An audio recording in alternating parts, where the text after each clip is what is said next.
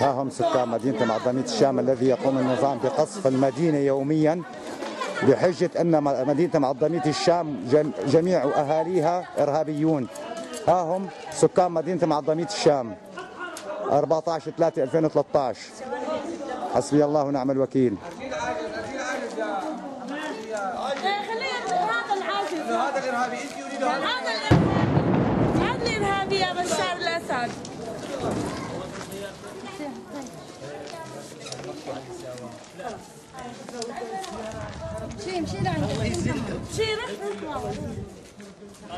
أحد الإصابات نتيجة القصف الصاروخي على مدينة معظمية الشام.